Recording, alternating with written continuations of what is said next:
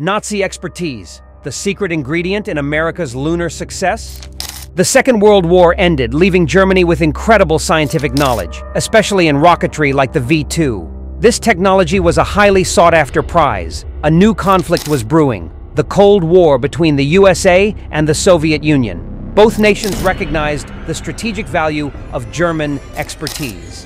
America initiated Operation Paperclip, a secret program to recruit around 1,600 German scientists. Their goal was to bolster U.S. military and space technology. Key figures, like Wernher von Braun, a brilliant rocket scientist, were targeted for recruitment. Many of these scientists had ties to the Nazi regime.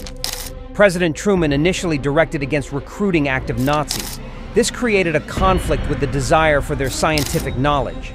To overcome this obstacle, the records of some scientists were altered to hide their Nazi affiliations. This secrecy and the ethical implications sparked public debate and protests from figures like Albert Einstein. These German scientists began working on crucial American projects, contributing significantly to early missile development and laying the groundwork for the space program. The space race with the Soviets intensified the need for Nazi scientists. Wernher von Braun became a key figure at NASA, leading the development of the Saturn V rocket, which enabled the Apollo 11 moon landing in 1969.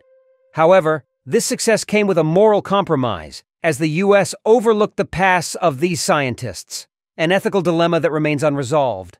So, what do you think? Was the technological progress worth the moral cost?